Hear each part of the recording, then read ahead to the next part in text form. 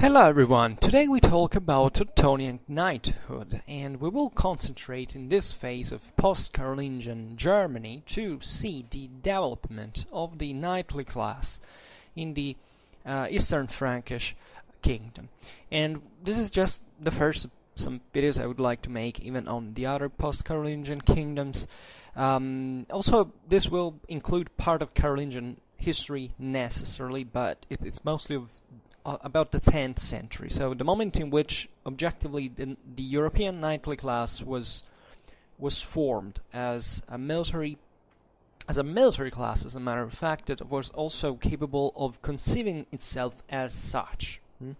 And uh, so the uh, miles in the um, the high medieval sense of, of the word, that is not just the fighter, the soldier, uh, proper the one who received the, the pay like it had been in the ancient world, but something more that is obviously loaded with many further meanings, both deriving both from actually the same Roman tradition, but also and especially from the Christian one and the pagan one. Um, that especially in, in, in countries like, you know, it's particularly interesting to make a comparison between the various post Carolingian kingdoms because naturally they had different traditions and therefore the knightly class that was born in there was differentiated on, on some basis. To, today we look at Germany that um, at this point is an uh, is very fascinating in itself because it's it's still a crossroad of many um, I would say not just pol- well say political and military cultures as well because you know that at this point Germany is the basically it's the last conquest, if you want, of of, the Carolingian world, or at least the one that was um, significantly more um, difficult to get started with the um, you know the, the system that the Carolingians had uh, began to, to develop. There, there isn't actually a very strong uh, distance between the Franks specifically and and the Germans, this set of, of, of peoples, the different ethnicities actually as they conceived themselves as that populated the, the area roughly comprehended by today's Germany and not only actually. Um, so a world that in great part was still under the uh, the first of all had been outside, at least in larger part, from the Roman world proper. Right, the the Carolingians um, actually accomplished more than the Romans in German to Germany because they managed basically to assimilate Germany into um, in, in, an incredibly quick way. Naturally, the the situation was a bit different because during the migration era, even Germany had changed consistently. Um, also, a lot in terms of society, even land exploitation. It was definitely not such um, a tough ground like it had been uh, as a different potential for for the Romans back in the day when they, they invaded Germany.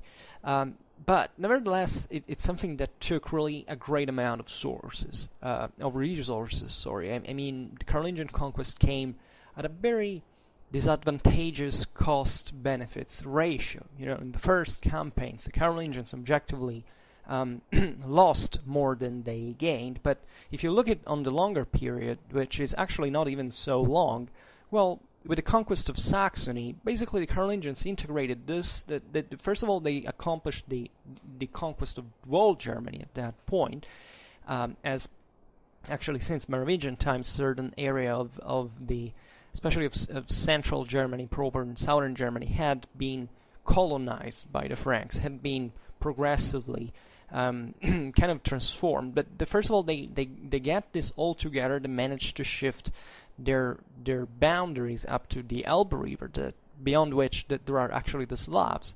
Um, the the ethnical geography is very different from today's ones, as we know, and it passed, in fact, even through this um, not just the Carolingian conquest, but that actually stopped to those limits, but from exactly from Ottonian times was expanded toward, towards the east. We'll see now, even with military expeditions against the, the, the Polabians, the Poles, the, the, the Bohemians, etc. But uh, the um, the idea here is that Germany is um, is somewhat integrated in the vassalitic um, beneficiary system. um, it, it that culture gets started, but it gets started with a very different degree um, from from France uh, proper or the Western Frankish kingdom, say better.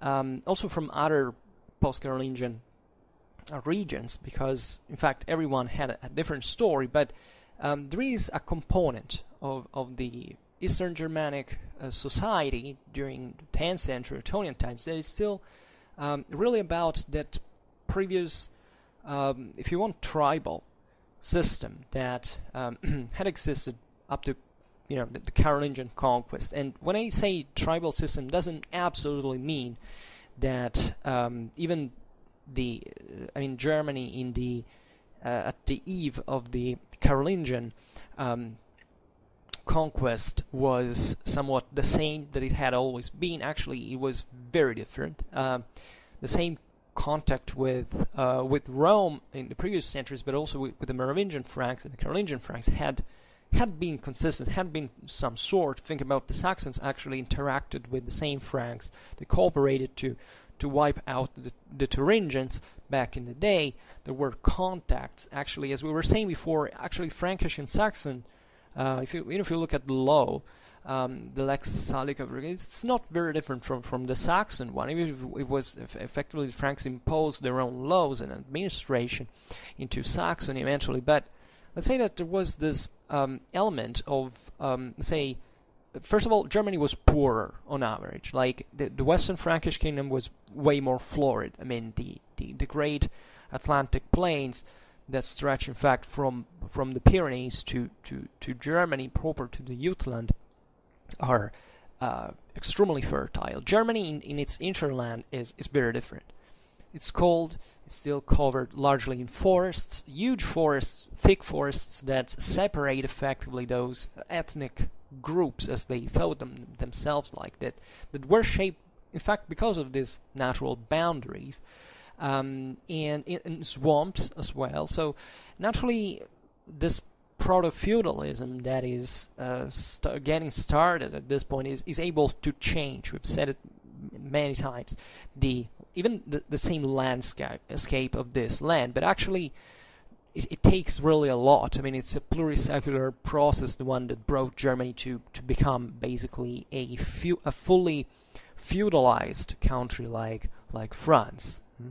Just just bear in mind that the actual French model feudalism is basically imported once uh, once again in the uh, in in the mid 12th century by Frederick I of Hohenstaufen. And up to that point, Germany was very uh, wild. We can't say without many uh, different. You just look at the commercial penetration, look at the, the degree of urbanization, look at even at art. Um, Germany had been very conservative because they hadn't had the, the means to develop and, and therefore the needs actually to develop in that Frankish form. And in this sense, I don't want to present the thing as if it was the, the failure of a sort of progressivist um, idea. Um, feudalism, as we've said many times on, on Schwerpunkt, we, we, we observed how really um, uh, imposing it was in terms of, of, of, social differences, of social certification, of hierarchization of society, and, and naturally this had also played a great part into the resistance that, for example, the Saxons had opposed to the Carolingians, etc., because they realized that not only those were foreigners uh, or that were coming to, to rule on their own land, they were bringing another view of the world. They were bringing a view of the world that was really attacking the very base of their society. It was this kind of relatively egalitarian or kind of democratic um, way of government, of social organization. That, you know, when I say uh, democratic or egalitarian, obviously you have to take it in the most neutral um, sense of the word. There was nothing as we mean as egalitarian or democratic. Germany had always had, since the, the, the, beginnings, uh, an aristocratic society. That is to say, that the guys that had more power were in charge. They were.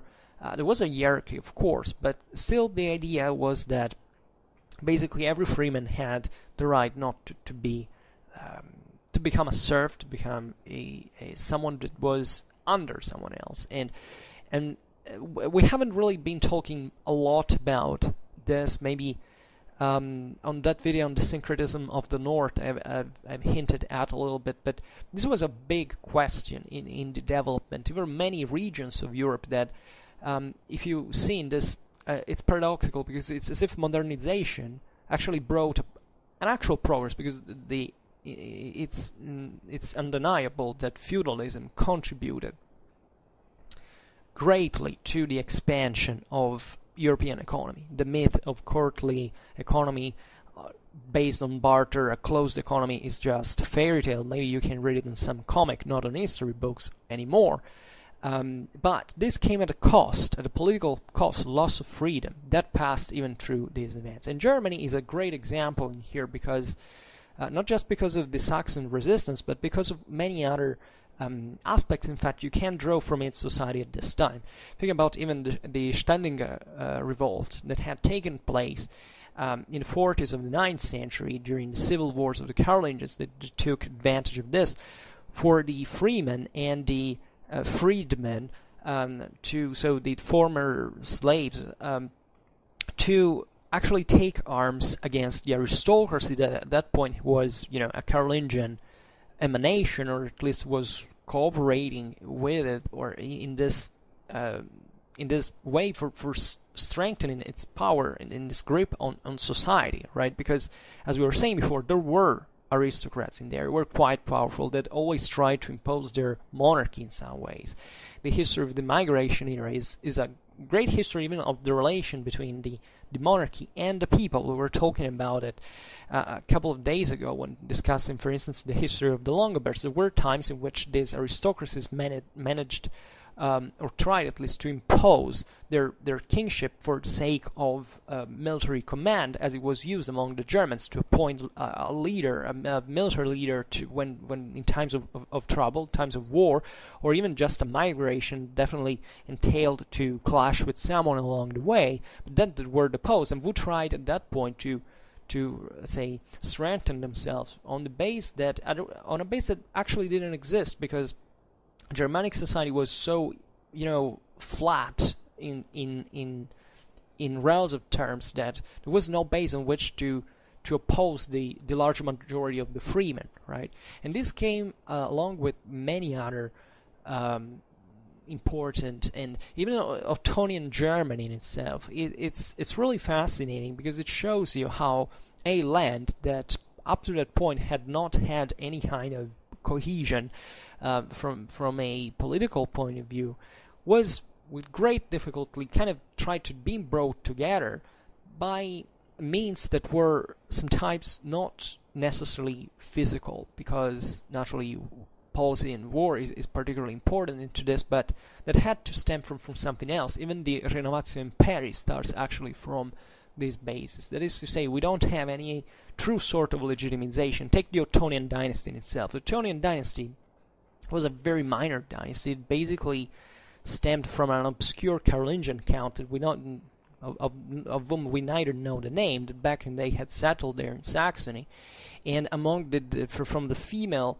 line that they descended from actually from Widukind, being the one who had opposed the imperial grandeur, and and this dynasty, I mean the, the Carolingian invasion of Saxony, and and therefore the imperial model, and therefore this family, however had to stress in many ways its legitimization in, in some ways.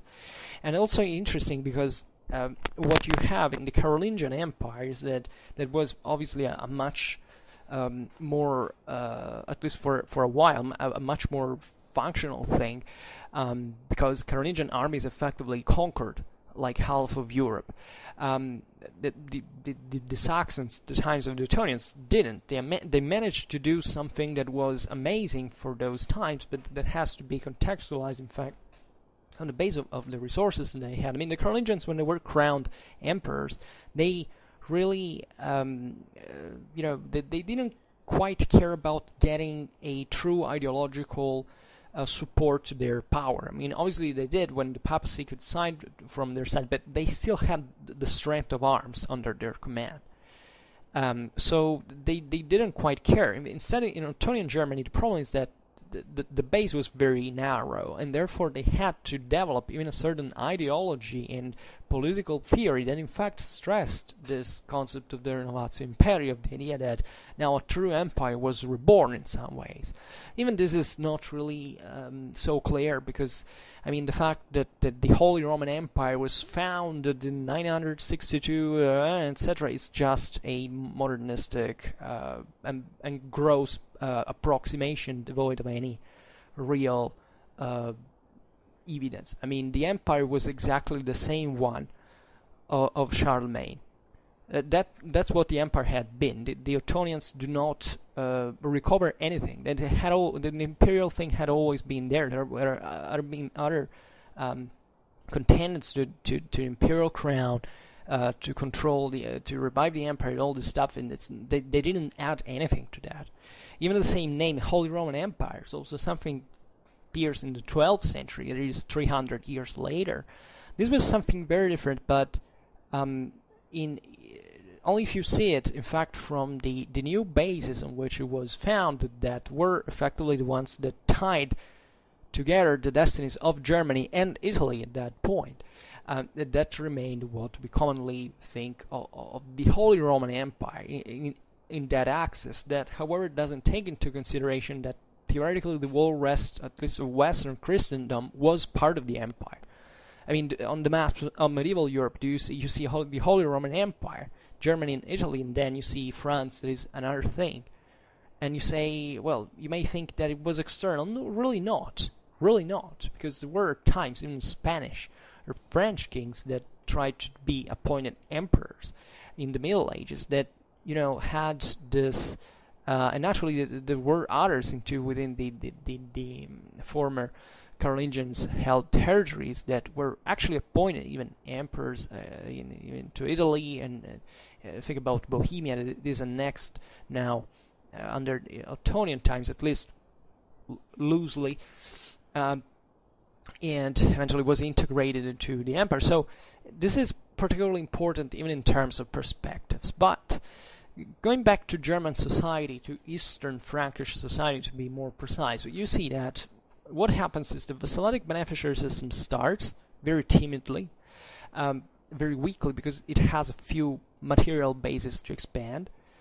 Um, the, um, the, the, in Germany there aren't the, the hugely fertile valleys in you know, France, etc., where you can build this great feudal um, um, because society is not stratified. In Germany, it's pl- it's plenty of rough, um, you know, um, fighter freemen. Let's say that that that, that look at their um, their freedom as a normal datum of their political existence. Let's say they they they they're not to give up and it's not that they are that th- this is a, a, merit. It's simply that that society was not fit for creating larger clienteles like in a vassalic beneficiary system um, it, it, was possible right? And that's why feudalism is born in northern france and not somewhere else.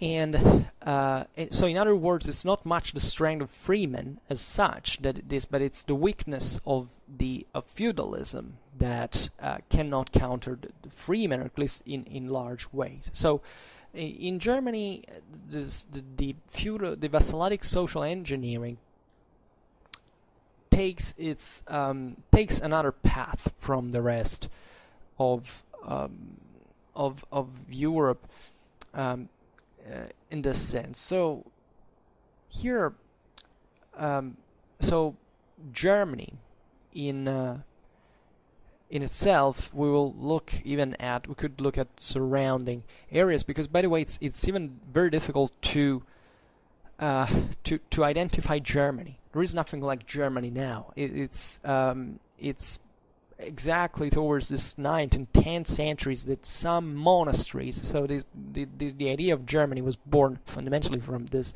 ecclesiastical elites. Um, as a, as a political body, you know, start to say, okay, we're part of this broader kingdom that has enucleated has enucleated itself through the various vicissitudes of post-Carolingian times, um, or Carolingian, post-Carolingian times, that we can start calling the Teutonic kingdom, that was the the idea, and and that's what it was the synecdoche also sometimes through which everybody was part of this kingdom was was called like like the Teu because of the Teutones, the ancient. Uh, the ancient it actually derives from the Teuchen, the, the, the Deutschen, the, the, the, the idea of, of, of people. Mm. Uh, the Teutici, as uh, in Latin were called. So um, there was, in fact, even in the root of the name, you see this very strong, um, uh, let's say, popular character of this area. It was that considered itself chiefly because of, it, of the, the freedom of their of their men, fundamentally. Um, from from a political and juridical point of view. Because actually at this time what really defines an ethnicity is law. When you're talking about ethnicities at this time it, it's not about you know what you look like but rather more or less under which law um, you are. And obviously also in the sense which language you speak because most of the times this even in post-Carolingian Germany you know uh, everything was oral in terms even of juridical traditions, etc. So um, think about this even from in terms of civil progress. I mean, how difficult it was even to build something like an administration, to have a an effective government that could control everything. It was basically impossible, and obviously policy uh, was, you know, the, the, political power was found was founded in part on this on this meager um, measures, let's say that a meager power that could be given by the you know owning some land from the ancient uh, vassalic uh, you know order and starting privately to develop to capitalize upon it and progressively extend their power. Just how that's just how the Ottonians expanded their power. But it was very loose and very weak and that's the reason why Germany has an elective monarchy. And up to the 12th century basically doesn't have anything really more, uh, you know, that, that that at least could achieve a sort of monarchical centralization. Then eventually it fails anyway, but that's another story. For now, stopping to, to 10th century Germany, all we can do is that in this region, it is also quite diverse, let's be honest. There are areas that are kind of more developed than others. The Rhineland, because of Roman domination, is and fertile soil, etc. It's it's more developed, and it's always been um, even the south of Germany. I mean, Germany at this point is larger than than the than the Roman. Uh, I mean, the ancient times, because the Germans have crossed, they've gone south of the Danube. The south of the Danube had been a part of the Roman Empire, so even in there, there are more cities. It's usually a wealthier area. Southern Germany has always been historically at that point wealthier than the north that was really rough and it, but, but simply because you know, take the, the geographical evidence of the thing. Think about for medieval technology what it meant to live just in a in a colder climate like the one of Saxony than living in places like Swabia, right? It, it's it's it's really different. It really makes a lot of difference. Different landscapes, different climates, different peoples with which you, you interact, different uh, you know uh, contact with civilization. There is this greater um, datum that you can take that is fundamentally, you know, that during the Middle Ages, civilization develops in places where civilization had been closer. There is nothing to do about that, and that's why, you know, it takes so much time for places like Northern Europe or Eastern Europe to develop more than what essentially wh- what we define as Western Europe proper today actually was. I mean, if you look at, at the data, especially in the, the, very end of the Middle Ages, the thresholds of modern age, you realize that. And interestingly enough, Germany has this ability to progressively fall into the, the Western half, even though uh, this, there is also this uh, eminently Middle European dimension that is this broader Central Europe that in fact it's very difficult to even identify because there is there are no physical boundaries in Central Europe. I mean, from from the the Western uh, uh, German the German uh, Western German forests to, to to the steppe. I mean, it's a huge uh, uh, amount of land that has no and and this had been particularly important even in terms of military culture because uh, Germany is now we as moderns, we we we obviously look at today's Germany and say, oh well, that's kind of a well Western, solidly developed and rich country, etc. So it's part of the club of, of the Western cool guys, right?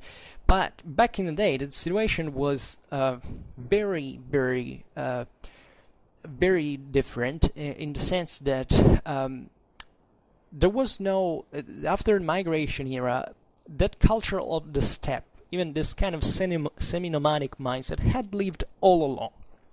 Germany is a country where you can find the um, the, the Dracones standards that, that, the Sarmatians used back in the, the steppes, but in, in, the ancient world, like up to the 13th century. When you realize that you can't really differentiate a uh, this this population sometimes, especially the, the eastern, you, you go towards the the the steppes with, with those peoples who dwell in there. Um, you can't see I, I would like to deepen much this because it also has to do strictly what the, with the military theme and with the idea of knighthood as it has developed. I'm a great great supporter of the idea that basically uh, medieval knighthood is something that stems and it's deeply rooted into the Indo-European uh, steppes more than anything else. There is no me- uh, technologistic approach of things like you know modern, um, uh, you know, the European medieval uh, medieval European knighthood originates from you know the the Persian cataphracts. It's, it's not how that happened. It's not about how you wear it. It's about the mindset. It's about the culture. It's about the the, the environment, right? And and simply the, the, regions of Central and Eastern Europe were wild, were savage. They had a lifestyle that requ- had required for millennia the fact that, that you couldn't really uh, leave much of what the land offered. You had to, to move, to be ready to, to raid, to take action because the local resources, the local surplus was, was not enough.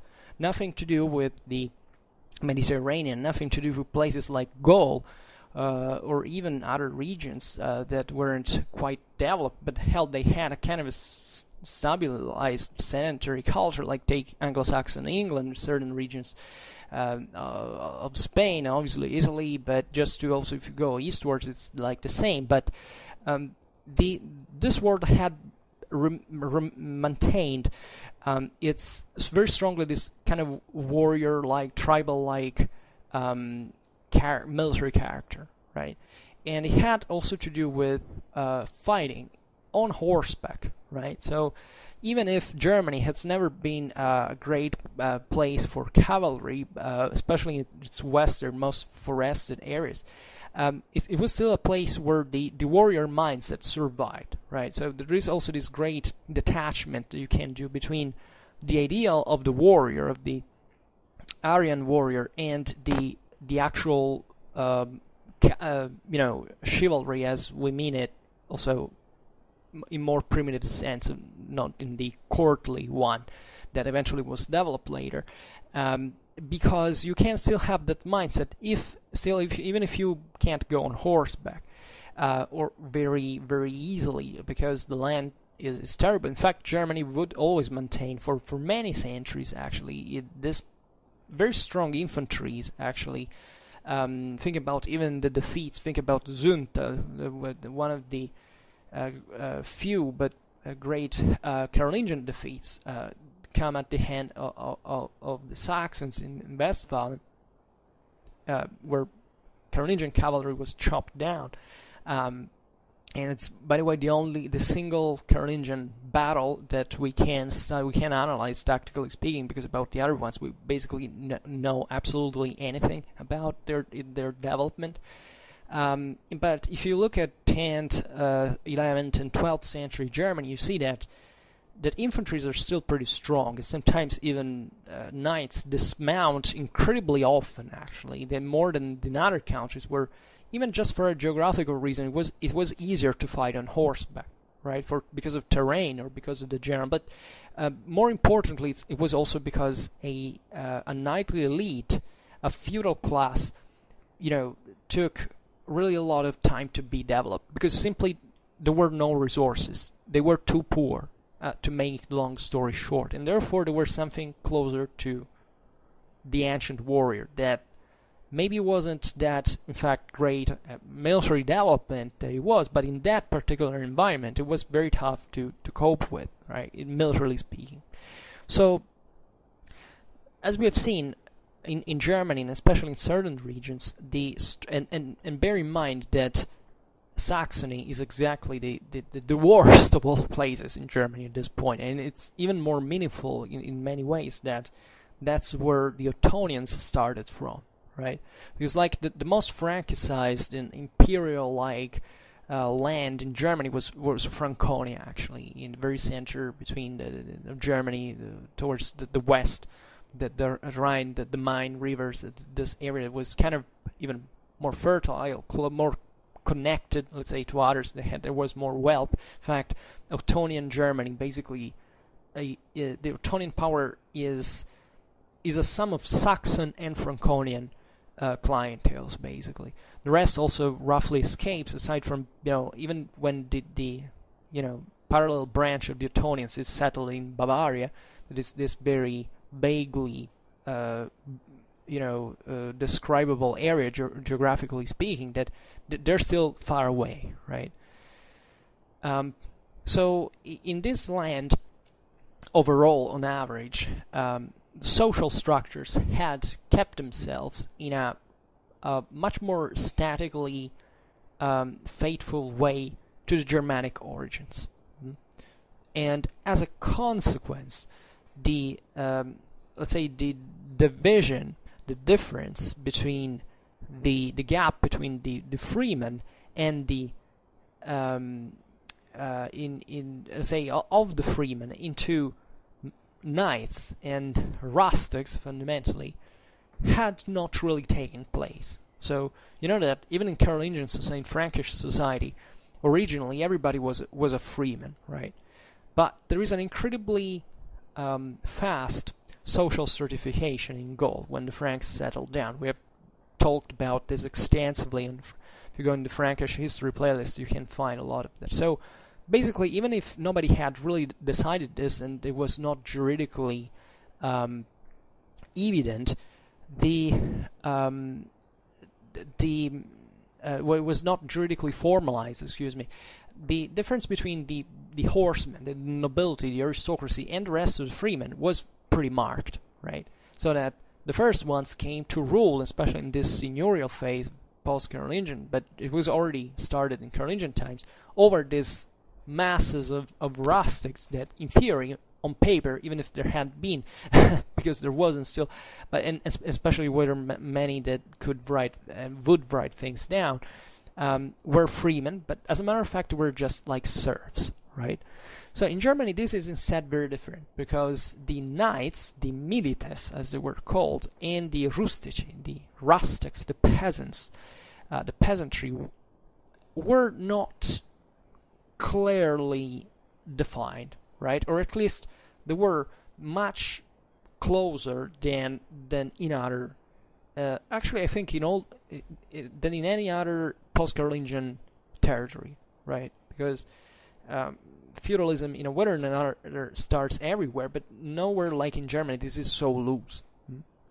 So, um, at, at, the same time, even the political interest into developing the vassalic beneficiary system was um, was pretty was much less evident, let's say, than the Western Frankish kingdom, right? So, because evidently the who wanted to rule in this world couldn't just say, well, okay, um, you know, I, I, imagine that in the future we will develop like a feudal society. Nobody actually, you know, they, they were very oriented in these choices. They they obviously understood the, um, especially the higher aristocracy had perfectly in Burlington understood all the advantages posed by the vas- beneficiary system that in part was exactly what uh, the the German elites had lacked, the Germanic elites had lacked up to that point in terms of of political, institutional, juridical justification for getting rid of the freeman class and ruling like like a lord. Uh, but at the same time, they, they still lack the basis to, to, to draw sources to do that. So even if, if they, they if these lords wanted to rule, they needed the freemen. They needed this uh, you know, more uh, autonomous uh, military element that evidently was uh, was not so willing, or obviously, well, no, nowhere it was willing. You know, nobody was willing to, to be oppressed, let's say, but that, however, could oppose more resistance in proportion to this um, um, social engineering uh, process, right?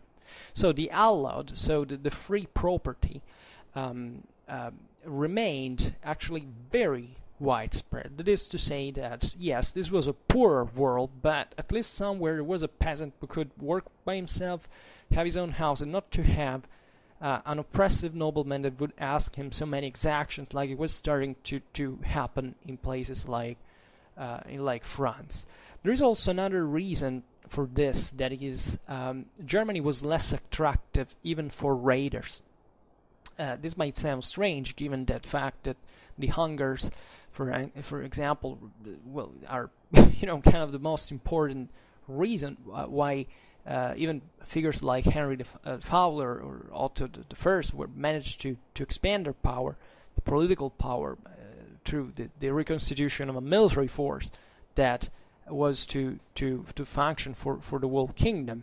But um, the still the idea is that um, this was not a very appealable land. You know it was tough. It was people who lived there were were rough. The, ter- the terrain was was was was bad uh, the the weather was was like you know you know maybe for a Viking it wasn't that worse, uh, of course, but you know it's like the, when Tacitus talks about the Germans says that fundamentally they're less mixed than others because nobody, no other people had ever thought to go live in such a hell of a place like Germany because it, it, it's extremely rough to do there. But this favors so in proportion. It's not that the the freemen lived so better than in places like France or Italy. This is something you can extend even to Scandinavia when uh, when you say, oh well, the Viking society was a better one, it was intrinsically more egalitarian. Yes, it was more egalitarian because everybody was more equally poor. That's what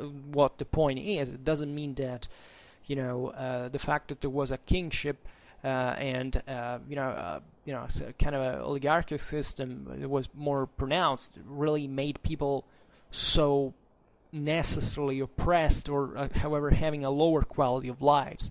At this time, obviously, the French, the Italians lived way better than they lived in places like like Scandinavia, but it's pretty obvious. Um, the only point is that um, these processes uh, are also tied to a higher kinetic energy that is channeled to, you know, crush someone else. That is to say, that um, the, the there is um, even a further de- degree of acceleration even by wealth that brings to this progressive cer- certification if you want. And, and also here the, the, the, the, the differences are astonishing because at this point the, the degree of, of social certification that already exists in the western frankish kingdom is uh, is, is present nowhere else in, in, in Europe um, in, for instance, in the Longobard Kingdom, it was completely different than this. Uh, freemen were kind of, you know, better off, but that they were the richest in absolute terms. But they, they, in there, for example, in the Italic Kingdom, the Carolingian structures evolve. Uh, surely, uh, you know, at, at least uh, at the beginning, in a kind of a mm, probably more consistent way than was that what Germany uh, so at the at the very beginning, right? So this is important. Um, and in fact, at the end of the day, if you look at, on the long run, what happens into Germany is that although the, there is this kind of egalitarian ethos, at the end of the day, with a lot of uh, effort, um, uh, the vassalic beneficiary system really, and the feudalism uh, at, at one point t- takes over because also the freemen do not have this extraordinary wealth like in other places in Europe, right? So it takes more time, but it's still kind of, you know, Germany transformed by the 14th century. It's a fully feudal and princely uh, area. So all this premise is particularly important because we have to get to, uh, to in order to understand the the knightly um, element as such, because now we haven't been talking much of how uh, knighthood was developing in other in other kingdoms, but let's say that the um, th- there were um, two types. Uh, also in here in Germany, there was a military proper, you know, a, knightly model developing, right? And there were fundamentally also in here the seniores and the vassi, right, in Latin. So it's the senior and, and vassus. Um, and among the vassi, right, there were essentially of two types. The um, the casati, that is to say, the ones who had fundamentally tenures, uh, uh, properties on their own, um, and the so-called baccalari or haustaldi, that is a bit like the the huskarl, you know, the the the one who lives basically under a senior, right? So under a lord in his own abode that could be naturally at this time, as you can imagine, a motte and bailey castle with you know other land, and that that also had this eminently, um, you know, familiar relation with the the, the the, senior, familiar in the sense not that they were relatives, but that they lived with the senior, that they made up his bodyguard, they fought alongside him, and so on. So the whole deal of feudalism, as you know, is that you, the, the idea is that the public power um, and later in this total privatization that takes, uh, I mean, not not always completely total, but large privatization that, that starts spreading post-Carolingian Europe. Um, there is a leader, however, let's put it in this way, can be the, emperor, the king, the, the, the, local lord, and maybe even someone else's vassal, is, uh, uh, of course, because it's always the king that rules in that sense. But however, that gives you some land. And so you become his vassus, and you have this land because not because you know that guy wanted to give it to you, but because he th- there weren't many other means to control the land, and this contract was made in the sense that okay, I give you the land, and then you fight basically for me with the resources that you can uh, draw from that land. Which, in in a modern perspective, it it sounds ridiculous in the sense that it's obvious that the, the, the guy once he gets the the the land says okay I get the money which is what that the, the equivalent of and, and and and goodbye but I think it was more complicated at the time because everything was so fragmented politically speaking military speaking that even though um, of course from your own land you could uh, rule basically as a lord on your own because you had some rights connected even to what you could ask exactly from the local population in that land, etc. You were still, you know, looking what was the, the favorable clientele to be under. Um, that is to say, you could side either with the king or with that other vassal. You could, let's say, however, be part of a system that was constantly conflictual. First of all, first of all, so you were constantly under threat, and you had necessarily to choose which allegiance you you had to.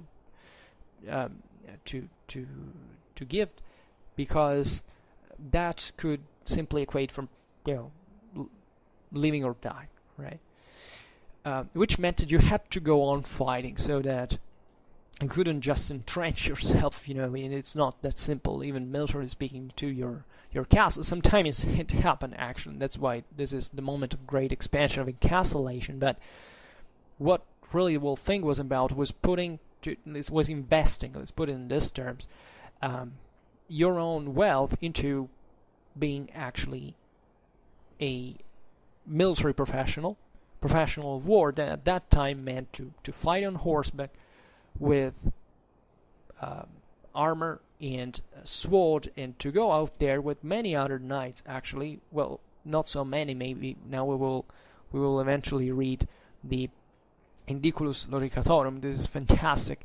Um, but you uh, and and fighting alongside them. So having even this sense, so other people were basically in your own same condition. So at the end of the day, this difference between the Vassi Casati and the Vassi uh, Baccalari or Austaldi, as they were called, um, came in a certain sense to to to not really to disappear completely, but let's say to form a sort of new class, because basically there were men of free condition, right, that um, found themselves to share this same type of office and, and lifestyle actually with the seigneurial armed uh, forces that were of servile condition. Um, so this is particularly important because in perspective you can see it a bit like this. Always bearing in mind that it's approximated. Is that you know the the free um, um, the the free element, let's say, remained fundamentally more sympathetic towards this non-feudal, non-vassalic way of, of life, right? The saying that basically I'm free, I don't have to render, uh, you know, I don't have to respond to anyone fundamentally, and uh, if I put myself under a lord, it's because I still maintain my own uh, bargaining power in many ways. But uh, as a consequence, so there were definitely free knights, and there would always be, but still there was a, a greater amount of people who instead was a serf um, that preferred actually to go to work um, under a lord that in this sense was where you know the greatest wealth was being um, uh, stored right because these were you know as weak as it could be even the vassalic beneficiary system in Germany entailed that uh, you know, that more power was concentrated into the hands of few. The, the, the Carolingian, you know, conquest had not gone really without any impact on Eastern uh, Frankish society. Obviously, it it it, it was um, it was pretty evident. So it's as if more preferably the knightly class in Germany, and especially the, the beneficiary knightly class, it is the, the, those knights that fought for the Lord, under the Lord, were not freemen, but they were serfs. Hmm? And this is not really, um, I mean, eventually we will learn how the German knighthood, up to essentially the 14th century, excluded, uh, was a servile class. Yes, the, the, the, really the characteristics of German knighthood is that they were not freemen, that they were serfs. You don't find it elsewhere in, you know, all the various um, uh, knights in, in the rest of Europe all had kind of their own, let's say, national, if we can't call it like that, characteristic. The German one was they were non-freemen, right?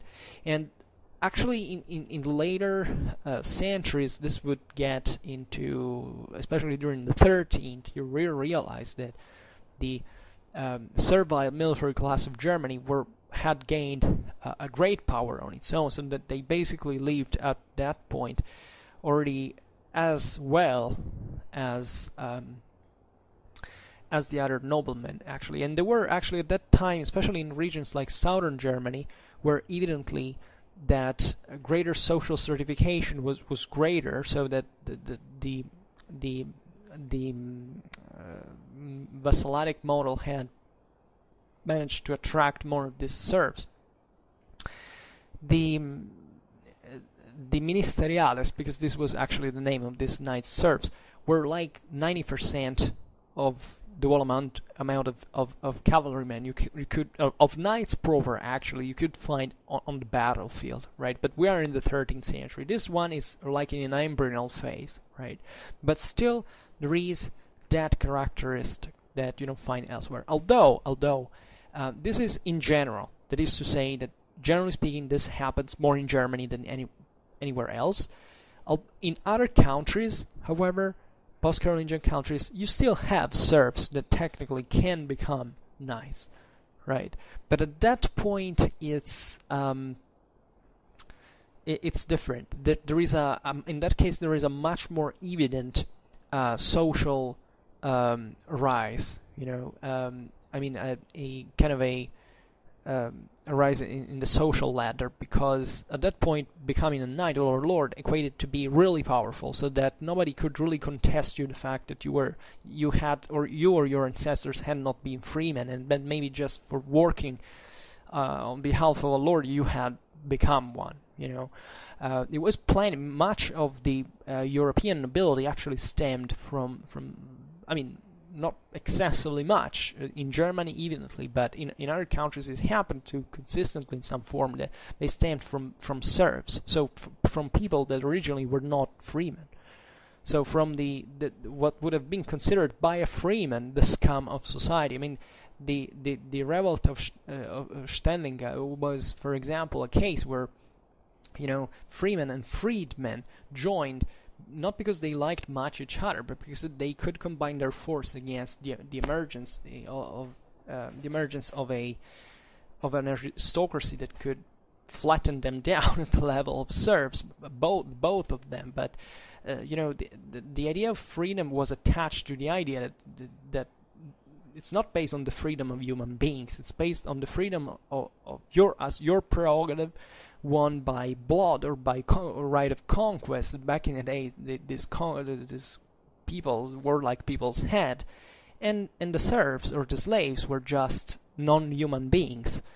Um, and especially in these regions of Europe that were kind of superficially Christianized, you know, that was all the more evident.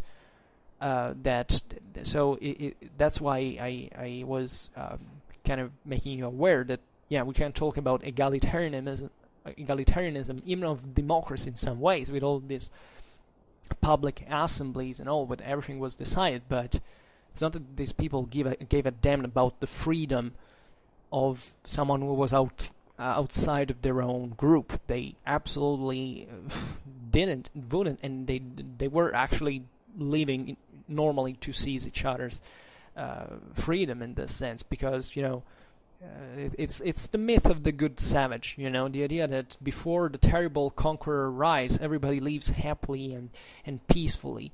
Uh, tribal societies, in, in, proportion, were way more violent and, and radically violent in the deepest roots of their culture, uh, way more than was was happening elsewhere. Where obviously they were capable of making more damage because they were mo- more powerful, but at least they had some idea of you know that maybe there is a better world that you can you know where everybody is you know that there is justice equality in the sense even that goes beyond um, public justice right? Even thinking about the christian message in itself is very powerful under this point of view. In this world it was simply the norm. Nobody really cared.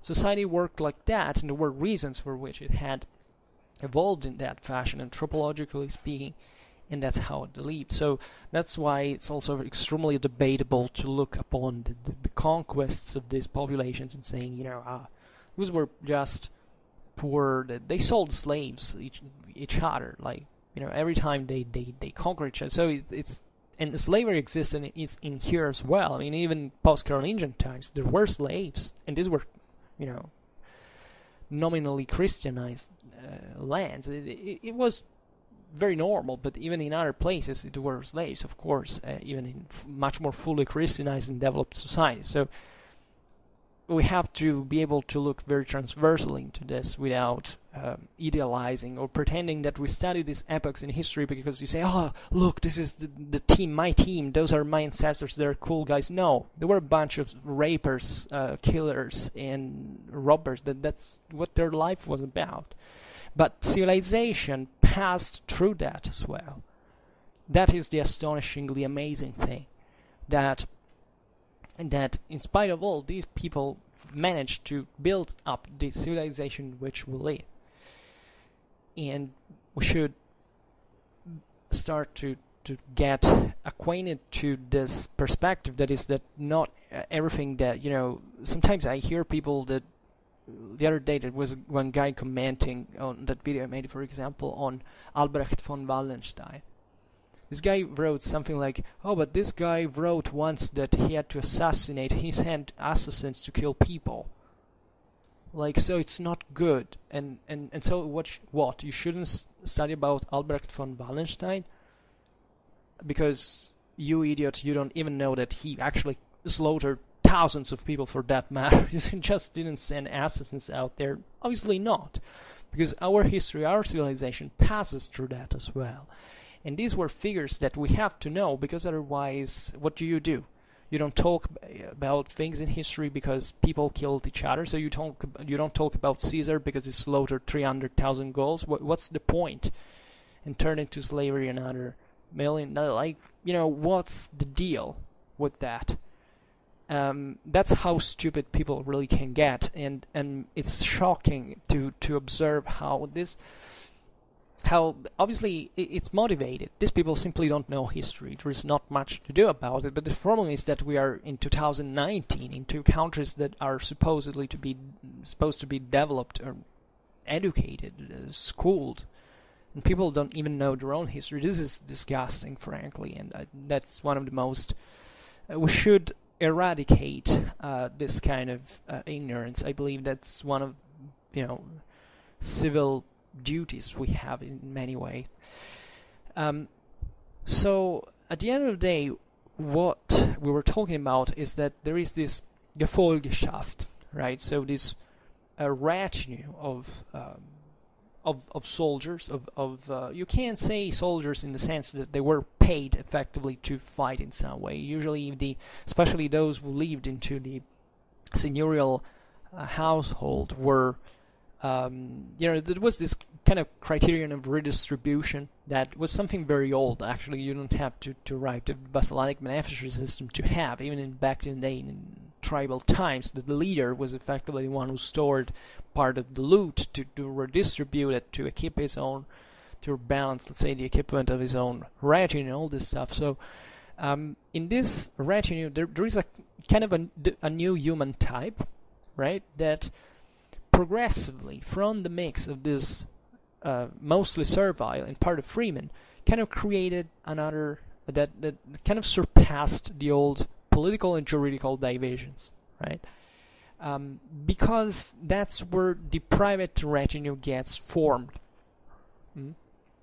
This is important that paradoxically um, the the concept of, of because one of the greatest problems of Carolingian societies had been the lack of public authority. You know, the, the, the Carolingian, the Frankish world was completely devoid of the concept that there had to be a public good in terms of property of state, uh, you know, of est- estatal estates or something like that. It was everything belonged nominally, individually, personally to the king.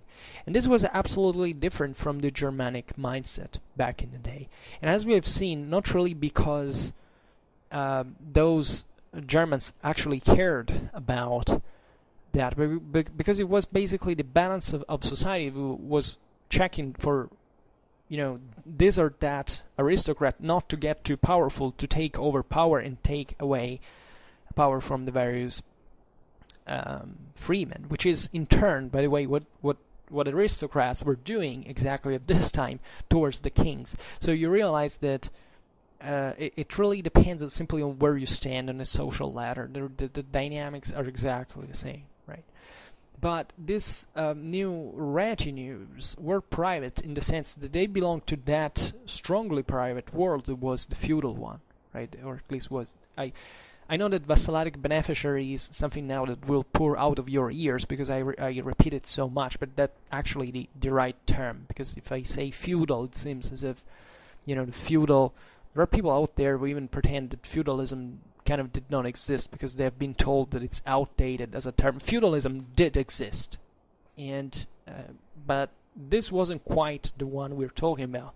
That's why vassalic beneficiary is it's basically another way to say was a clientelary system that would evolve into feudalism, right? But with this specific, um, uh, let's say, dynamic of the senior that entrusts the uh, the, the vassus with the beneficium, and then uh, uh, on the base of this, the vassus swears an oath of allegiance to the Lord in order to help them on the base of the wealth that he has gotten from that beneficium. So that's exactly what the, thing is.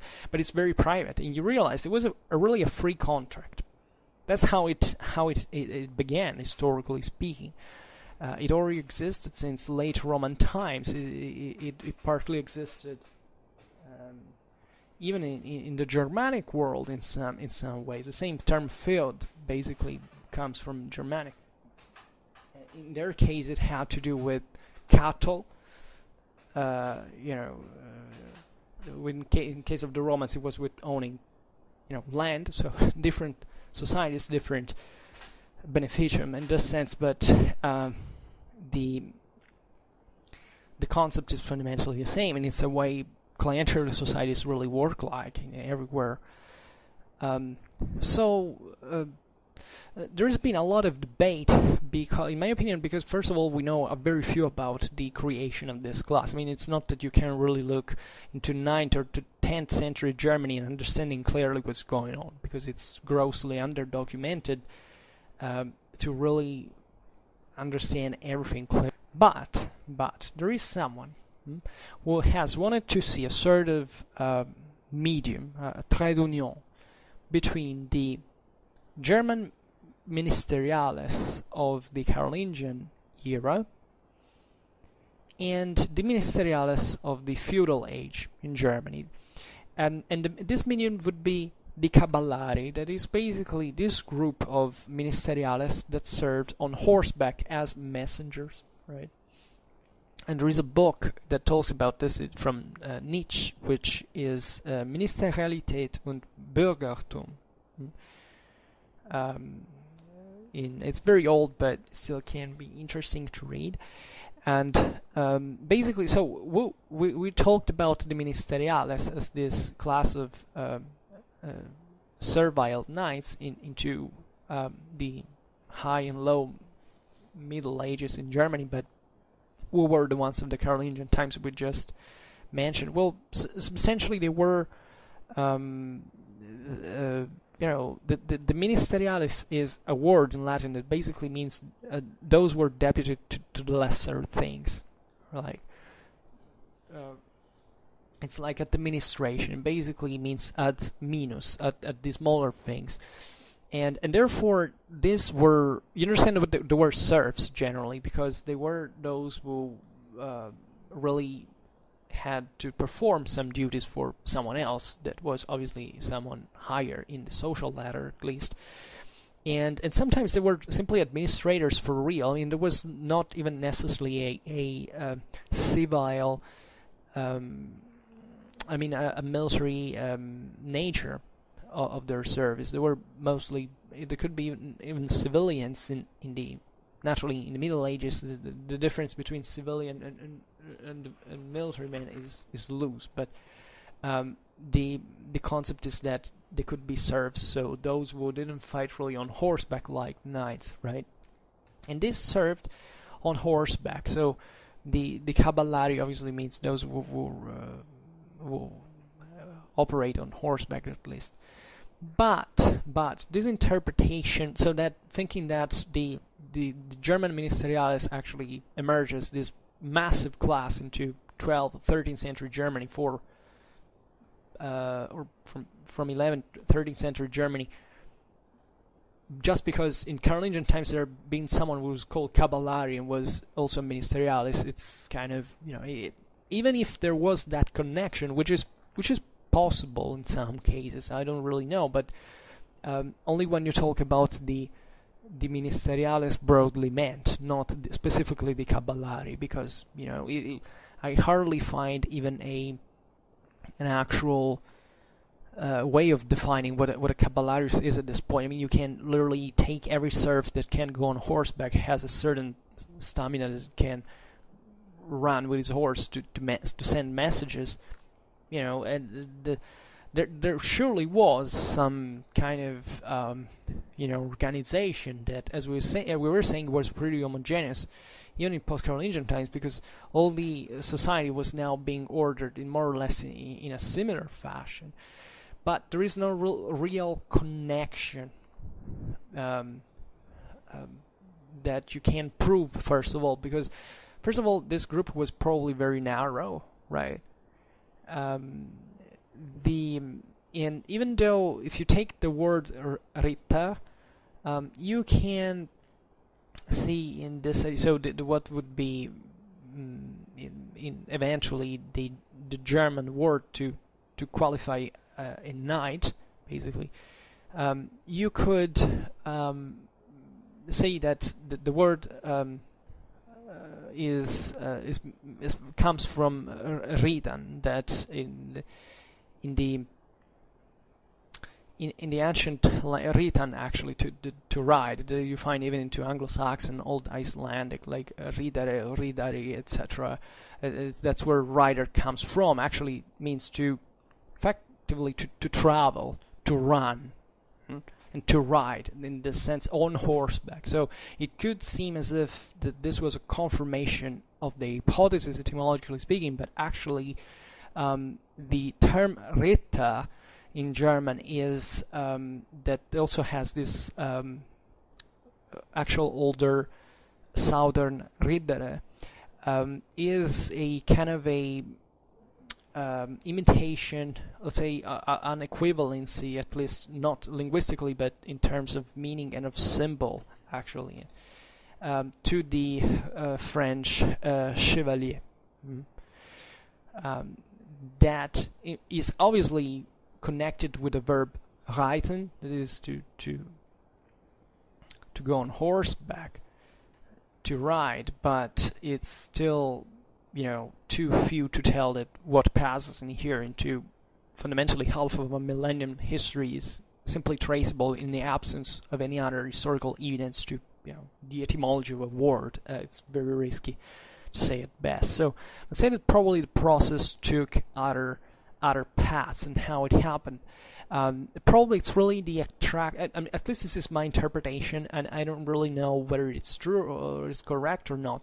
But the fact that, in this sense, uh, the the freeman class was stronger into Germany, and that the, all the serfs would preferably put themselves under a a lord that was at least the best freeman in terms of wealth and, and power and future, if you want, is is could really work. I mean, compared to other countries of post-Carolingian Europe, yeah, that that can work. I mean, that was a way to make a living for a serf, right? And and because of this dynamics, it's possible in Germany this process was more accentuated, and and that's I believe that a, a fairly structural explanation of why German knights are serfs into the High Middle Ages, and or, or at least that this club. Because by the way, I should I should say that um, the I think the, the most explicit mentions uh, of, of of ministeriales, at least as true knights, are something that happened a little later, like from the reign of uh, Conrad II, and um, and and eventually um, they they keep expanding. So initially, probably this number of serfs wasn't really that big, but at the same time, in same Germany, um, knights weren't that widespread, at least as fighters, as mounted troops. Like so, that, that infantry, the infantry of freemen had still this substantial strength. So that maybe we don't see we, we see the ministeriales growing as in number and in importance as in parallel with the spread of feudalism proper into Germany. That is, as we said, is something that happens very late in time, second half of the 12th century, basically. Um, and that's where, in fact, the the serfs spread. And by the way, this is an extremely um, convenient uh, way for the aristocracies to to create their military retinues because they don't have to ask that service to any freeman. It's simply the serfs who pour under their uh, protect, uh, protective wing and they become. In fact, ministeriales, interestingly enough, were extremely widespread into the ecclesiastical armies, interestingly enough. So this is.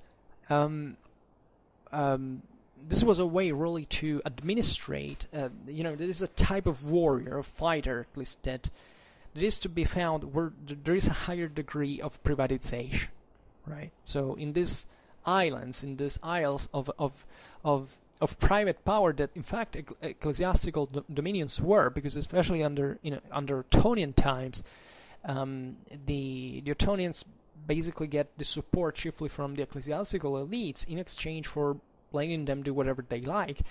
And eventually, part of this included expanding their domains, attracting other people, and also having this uh, greater ability to um, to to to create sort of of of, of uh, private regimes out of out of nowhere, let's say. So I find this very um, very fascinating, at least. So, in looking at the spread of this uh, servile knight, um, you see that um, the the appearance that uh, that really starts to make a difference is under Henry the Fowler, right? Um, at least this is um, an instrument that the Ottonians start to use in their turn as well. And this happens in part uh, also for, for other reasons that are intertwined with the military history of Germany at that time that have to do obviously with the threat posed by the uh, the Hungars, right? So Germany gets hit very hard actually by the Hungars. We often forget we we like obviously to emphasize that the Vikings or the Saracens did a lot of damage, but it turns out that those regions were still kind of more, you know, able to recover at least quickly, and they partly uh, entered into a kind of a broader circuit that was, you know, even you know economical, etc. With with the Hungars into Central Europe, it was really like you know, uh, consider that Germany was, as we described it before, not extremely productive, wealthy. So where these guys would hit, you know, it would take even more to, to reshape everything, to, to rebuild everything. And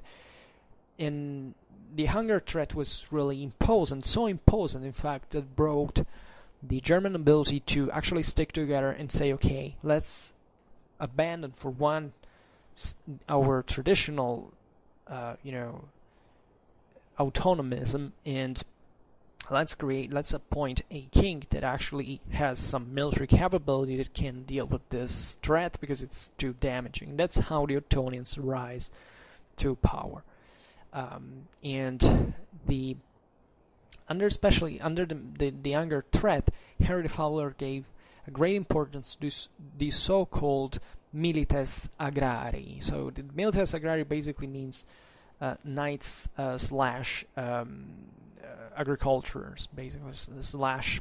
Uh, can't really say peasants because that's not the concept, but these are at least knights that are uh, still connected with the, the agricultural work and entrepreneurial uh, reality, etc. That have a uh, kind of you know heavy enough equipment, and that they are mm, kept to to defend, to, to guard the fortified centers founded by the king, right? Um, and in among these um, milites, there were also many other warriors that were recruited in the most diverse ways, actually. And and and these troops were evidently conceived with at least a nucleus of heavy cavalry that was quite important, not just because now in Carolingian, in this case in post-Carolingian Europe, heavy cavalry had now gained uh, quite quite of an importance, its own momentum in the tactical developments, etc.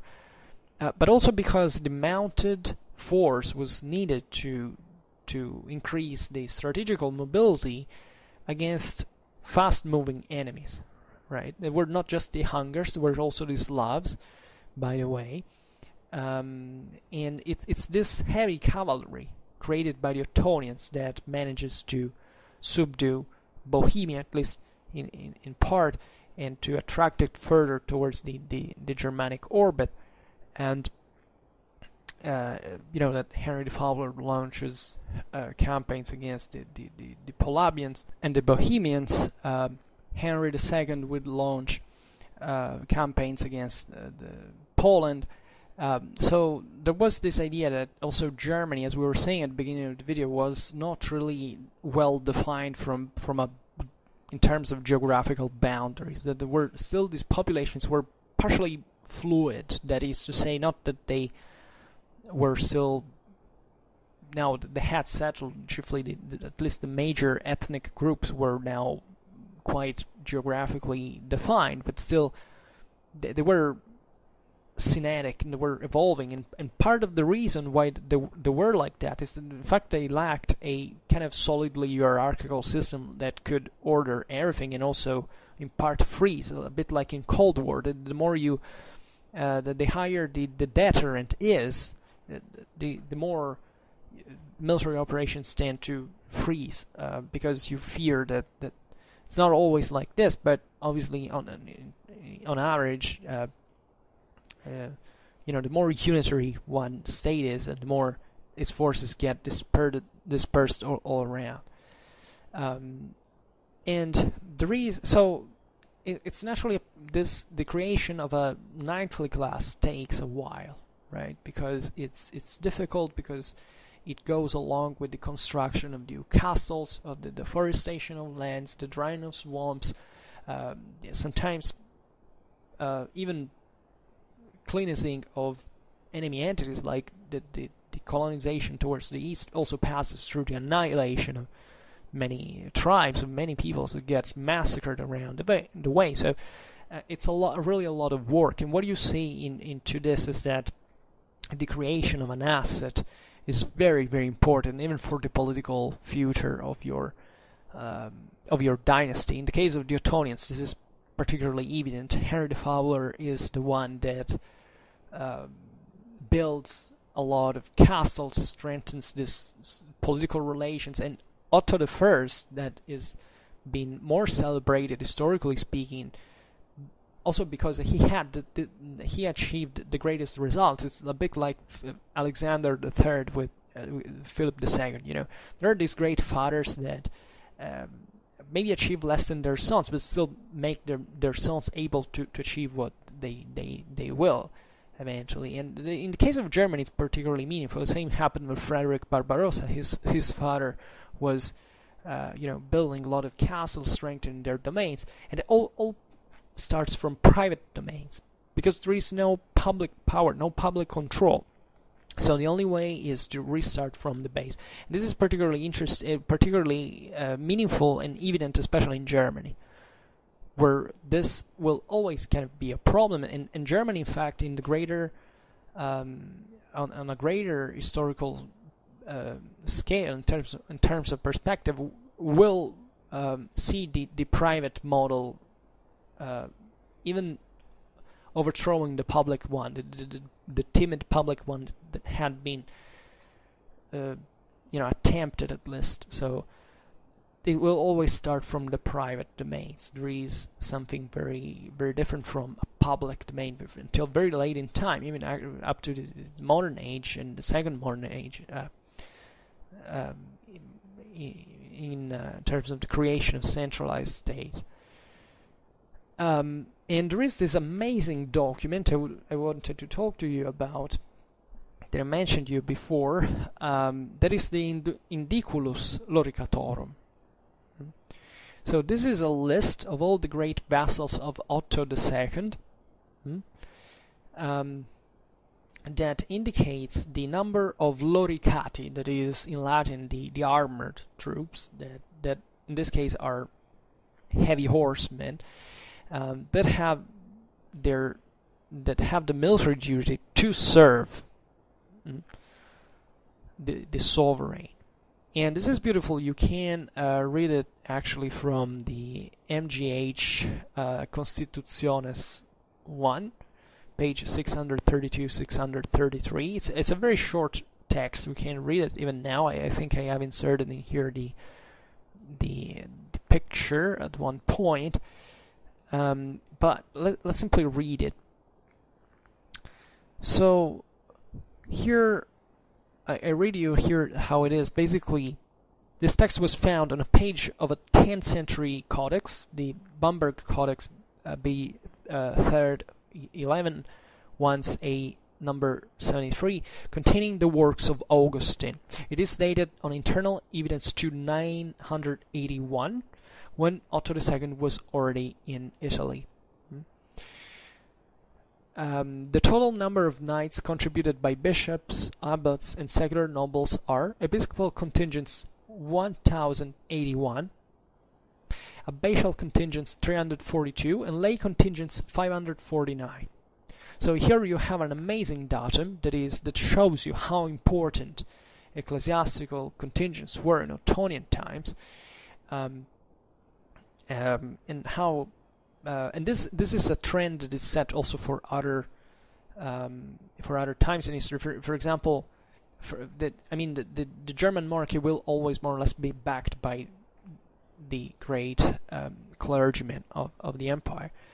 Um, Frederick II also launched his campaigns chiefly in, in, into Italy, and the, the, reason with ecclesiastical contingents, and this is important to understand because the idea is that the, the ecclesiastical contingents were, I mean, the ecclesiastical powers were the ones that had more to lose from a fall of the monarchy. So obviously they were reluctant, being actually not very different from the other secular lords, uh, uh, to to send troops, but also tended to back more the, the imperial prerogatives. And since there was always some rebel among the secular uh, princes, they, they would always invest into this. And here you have an astonishing datum that the episcopal and abbatial contingents surpass more than double time the number of lay contingents.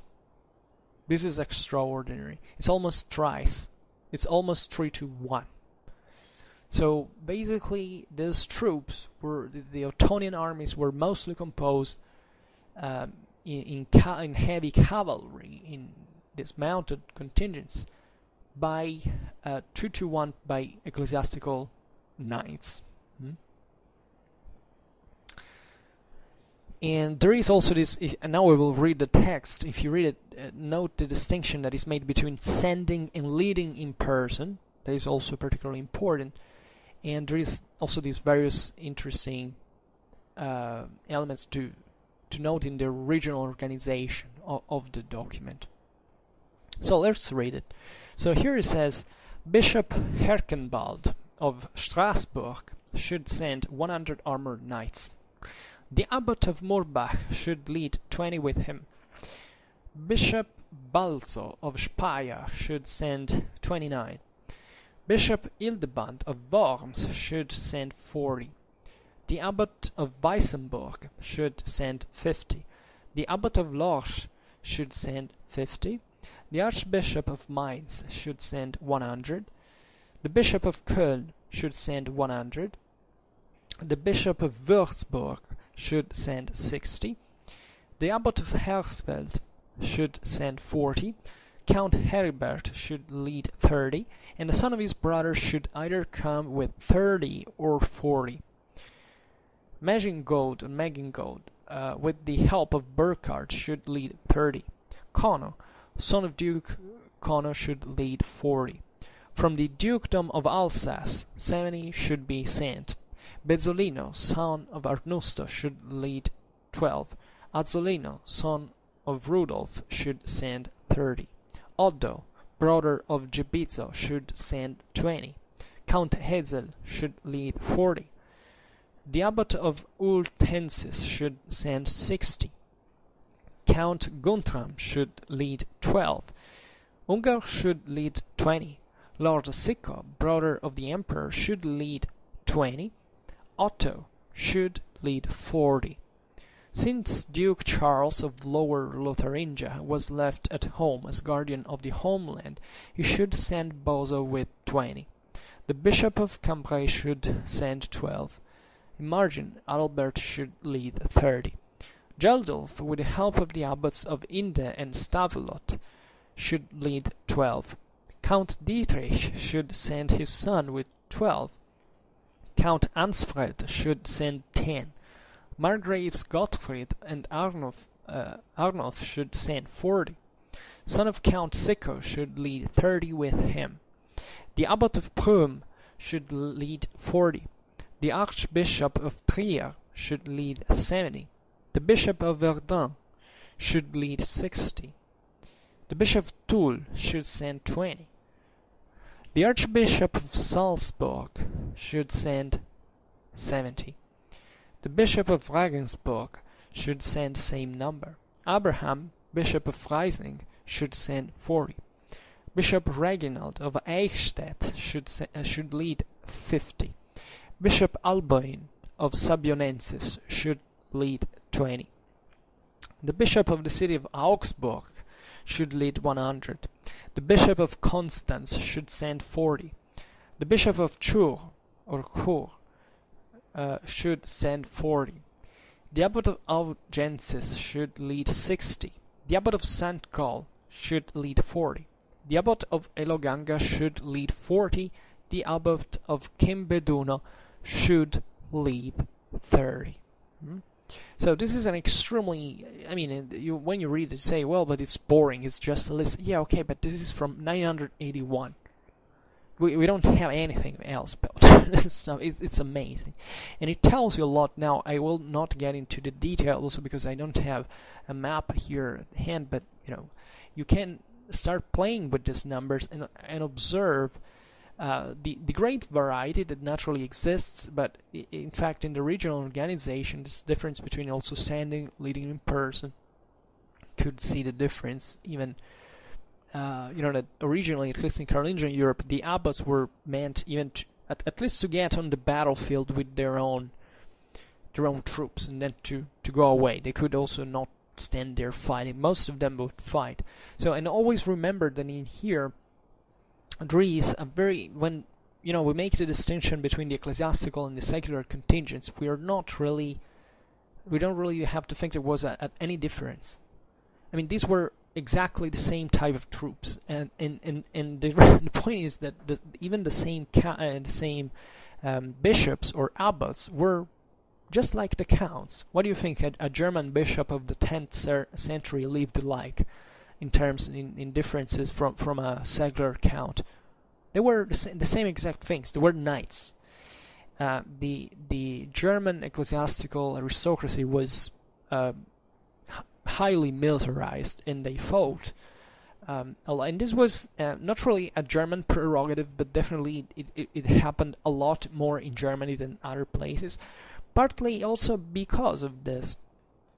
Um, you know of, of the importance that that, that ecclesiastical um, princes rose to during Ottonian times mm? because of the same backing that they had given to the monarchy and therefore the power that was you know the, the Ottonian empire was was based on the church that the, uh, on the clergyman that there was uh, you know in Germany in Italy every uh, every accomplishment that the Ottonian armies managed to, to achieve was thanks to the support of the local clergy because if they hadn't had the support from these elements they would have not able been able to control anything.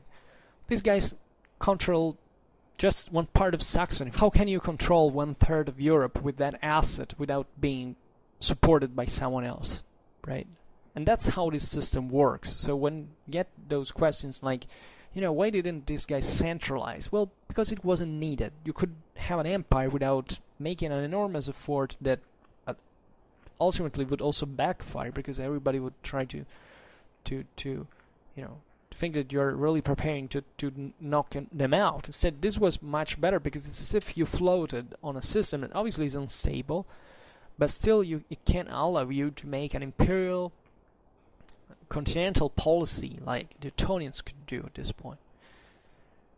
So I thought that this was particularly particularly interesting.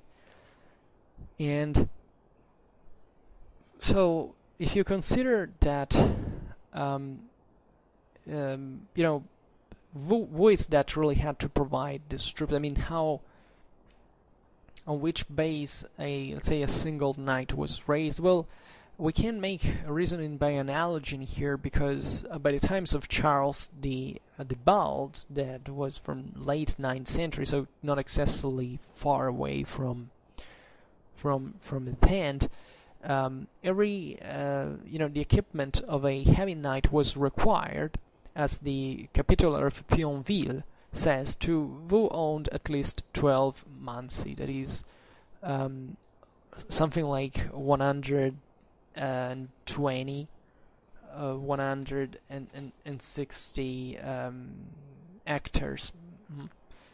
according at least to, to the generic uh, estimate that is um, usually um, fact taken and it's it's however impossible to really translate this data into a precise uh, figure because uh, this changed really uh, you know and depended a lot on on many um, uh, on many factors because the the Mansi were not homogeneous right? And and in fact there was an attempt to to do in in the to the in some works uh, the, the, the, there there have been many like Delbrück and Lot also studied these things but Wegner tried to to write something more um, you know to to observe it. at least probably the these Mansi was uh, were a bit larger than what was previously thought because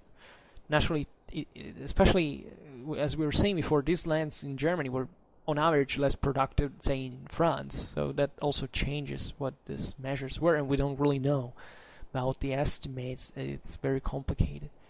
Um, and uh, but uh, however here the important datum is that the uh, the base and this is homogeneous for any kind of feudal society.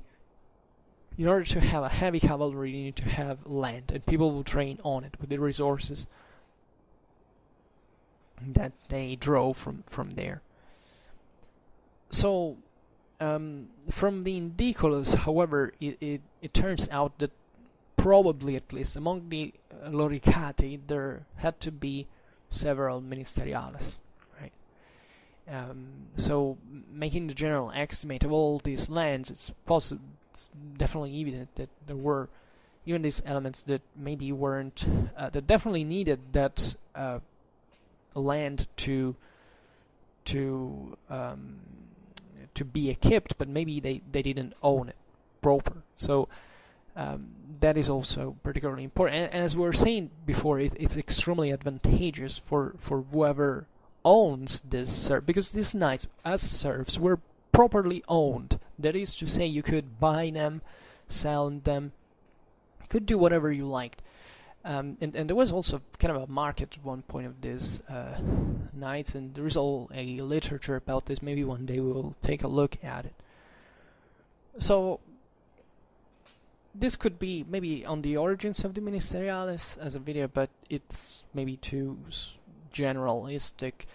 Uh, however, in conclusion, it's important to observe that um, in Ottonian Germany, we can spot uh, the uh, elaboration, at least, of, of what will be uh, will remain typical for most of the Middle Ages in, into into this country that is from one side the persistence of a an infantry of of, of uh, free allodiers of free landowners right? That especially in areas like Saxony will be maintained for a for a very long time.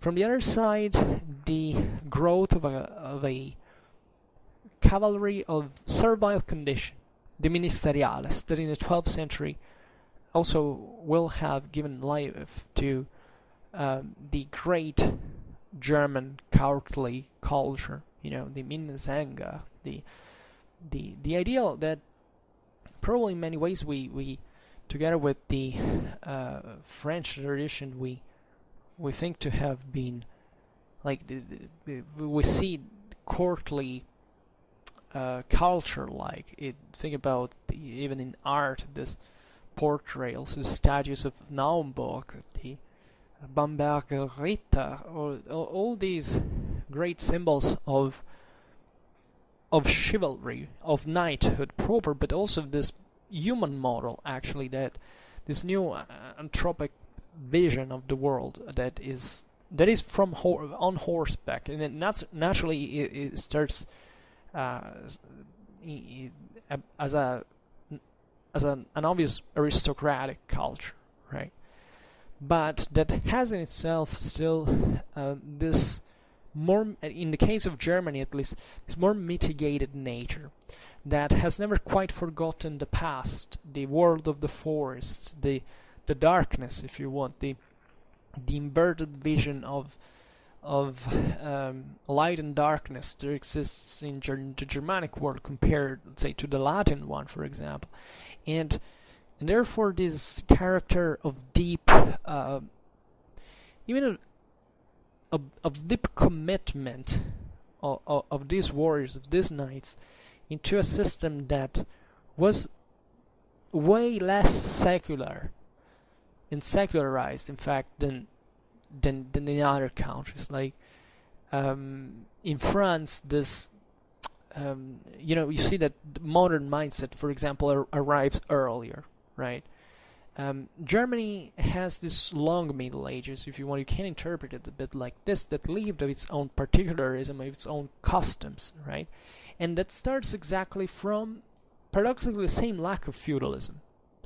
Because it was paradoxically through feudalism that you could create I mean, not a complete lack of feudalism, but let's say this progressive, this greater presence of the original um, um, of, of custom of war that that albeit more restricted, if you want, in terms of of sheer um, civilization, a ability to centralize to build something greater, more stratified or centralized, like a monarchy that in, in Germany failed still maintains this maybe this truer, even poetic form, this this truer, more genuine, and more um, even more pragmatic sometimes because it's more poetic, more romantic, even if you want, but it's still also very rooted in this world, right? Even think about the, the demic, um, uh, con- uh, you know, uh, the, the spaces in which people lived. Um, this world of that was not urbanized. It will take centuries before it expands. It's really it really finds its way and will always maintain this very localistic mindset, this the local autonomy, this idea that yes, there can be a greater um, institution that is deeply felt in many ways, but at the same time that this institution lays its basis on the individual community, on the individual uh, uh, what this echo of the freeman, if you want, in a society that, however, is always very important to to stress, is, is absolutely not um, egalitarian the way we conceive it. Still based on its its own very sense of itself, of its own differences as something defined in you know defining in a kind of a sometimes inflexible fashion because moder- modernity eventually will pass through the breaking of this particularism. I mean, the modern state basically starts from there. But these are further considerations that maybe you're not interested in. and so I'm sorry for all those who thought that now I'll probably try to make a, um, uh, let's say, uh, a fitting title not to make you fall into the trap of listening to all this with thinking that I'm talking strictly about war because definitely we will make other videos about the Ottonian Knight as the fighter, right, and how was equipped, trained, and all. But this was perhaps very good to give that kind of background you need to understand that world. And uh, and we'll we'll definitely go in depth. Also, as we were saying at the beginning of the video, we will make videos about Eastern Frankish, uh, excuse me, Western Frankish, Italic, um, knights, knighthood. Uh, we will see how, obviously how this evolves over time. So we will take everything step by step into consideration. And for now, I just hope that you enjoyed this video. If you did, please share it. Otherwise, leave a like or subscribe to my channel if you're interested in my upcoming contents. And for now, I thank you heartily for listening to me. I wish you a nice time and see you next time. Bye.